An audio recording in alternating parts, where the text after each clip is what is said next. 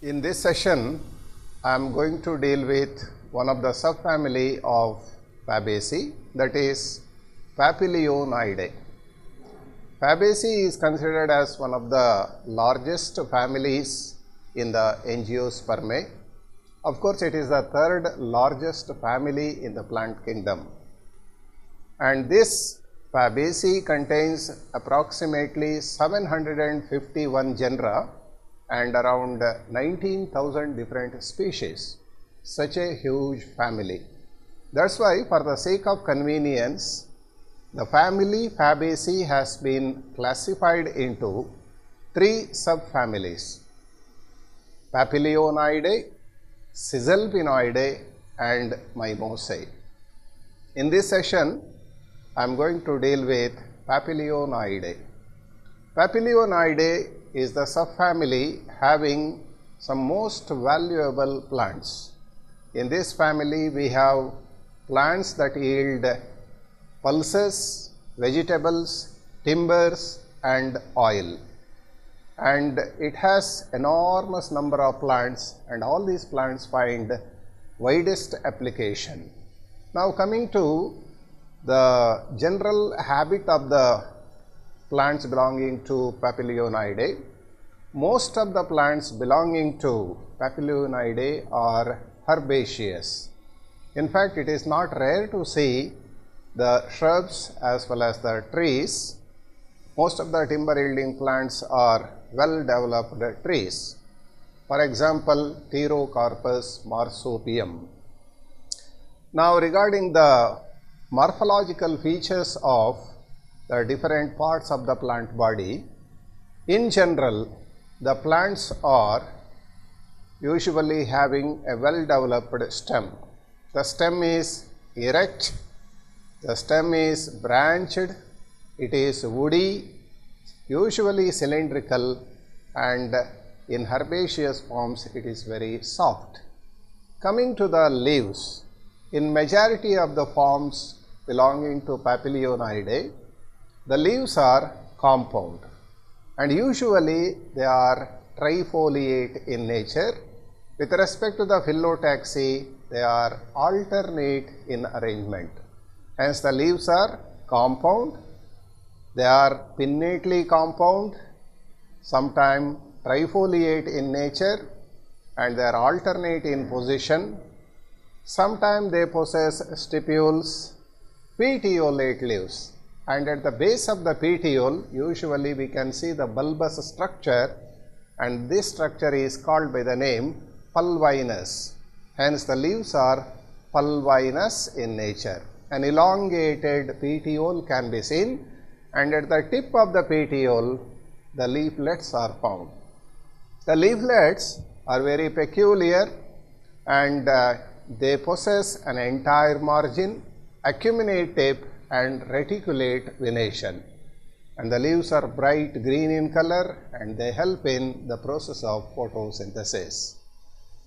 Coming to the inflorescence, in uh, Papilionoideae, the inflorescence is racemose and usually it is a very simple raceme. By definition, a racemose inflorescence is the one which is characterized by the formation of the flowers in an acropetalous succession. That means, the flowers are produced from the base to the tip. The peduncle or the inflorescence axis keeps on growing, it has an indefinite growth and it produces flowers in an acropetalous succession where older flowers are found at the base and younger ones are found towards the tip. So, this is the typical example for the simple raceme.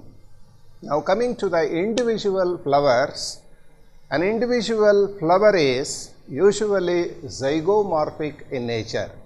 The flowers are zygomorphic, bisexual, bracteate, complete, regular and usually they are hypogynous in nature and the flowers vary in color, they are very attractive and they are known for their diverse configuration. Let me explain you the different parts of the flower. The flower has an elongated pedicel and the size of the pedicel varies and uh, it possesses calyx, corolla, androecium and gynoecium. In some flowers they possess the bracts also. With respect to the calyx, usually they are 5 in number, sepals are 5 in number, sepals are green in color, they are either united or they are free.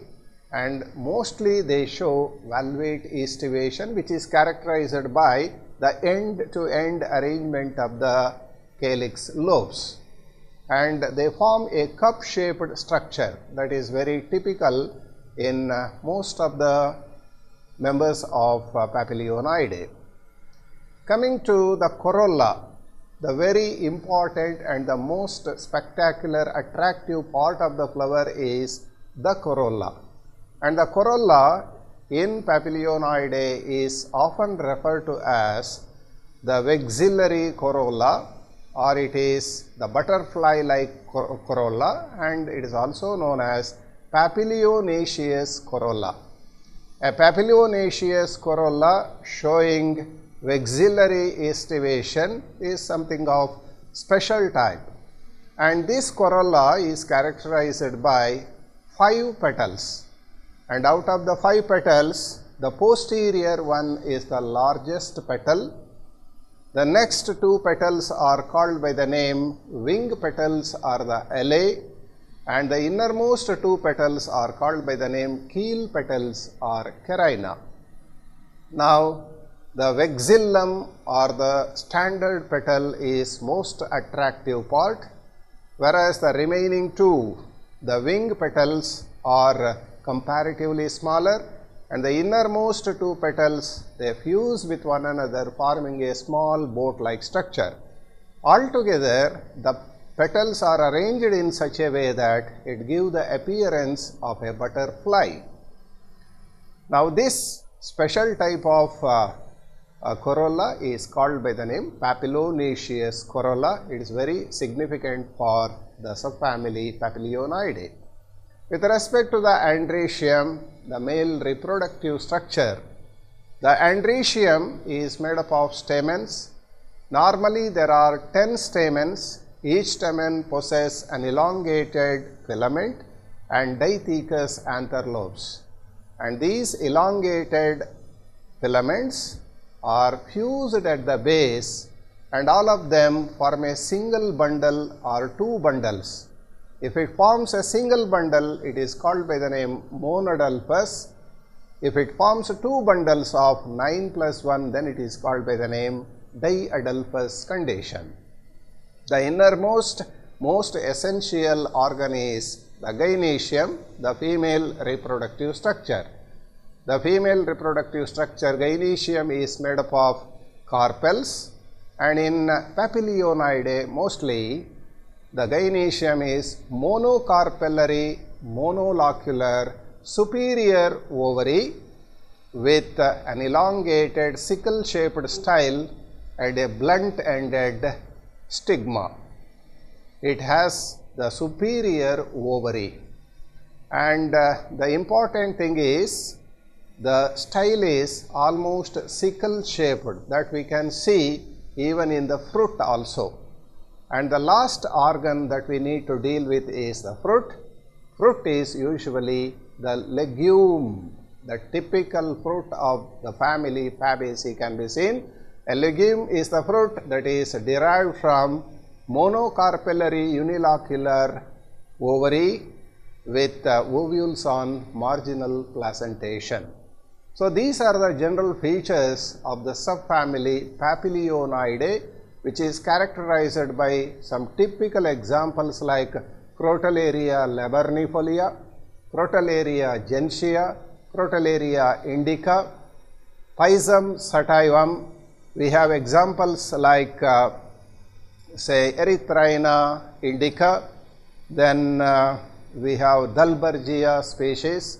These are some popular examples. As I told you earlier, the plants belonging to this subfamily are widely used in the process of extracting the oil, getting the pulses, some vegetables as well as to derive the timbers. Thank you.